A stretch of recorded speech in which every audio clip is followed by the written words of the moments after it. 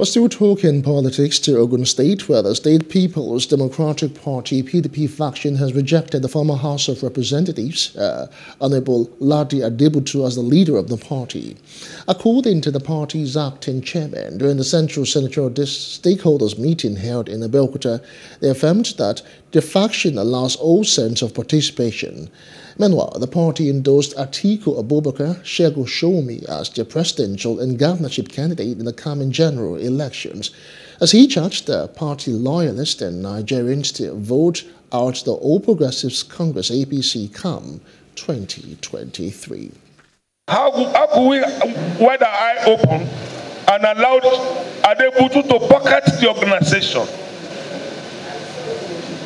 Is it possible? No. Let me beg you.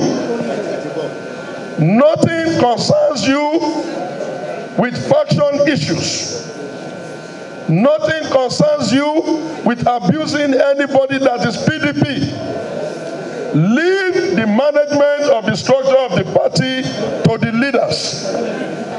The reason why I'm telling you this is because at the end of the day, when we get to the day of election, it is only the logo of PDP that they used to see there.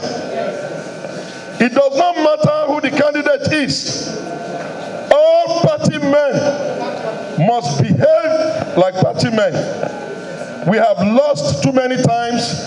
It is time now for us to go and do the work in the grassroots.